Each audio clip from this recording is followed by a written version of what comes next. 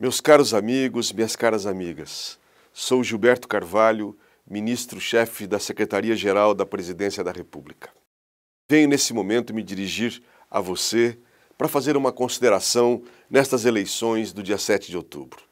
Trabalhar pelo desenvolvimento do Brasil com justiça social é a marca dos governos petistas.